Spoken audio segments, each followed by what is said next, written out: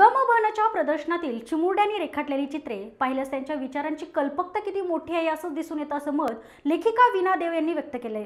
येथील गम प्रकाशनातर्फे दरवर्षीप्रमाणे बालगंधर्व कलादालनात आयोजित बालचित्रांची दुनिया या अनोख्या चित्रप्रदर्शनाचे उद्घाटन भारतीय विद्या भवनच्या सोलोचना नातू विद्या मंदिराचा विद्यार्थी दीपेश गुर्जर या बालचित्रकाराच्या हस्ते तर गम वन दिनदर्शिकेचे प्रकाशन ज्येष्ठ लेखिका विना देव यांच्या हस्ते करण्यात आले.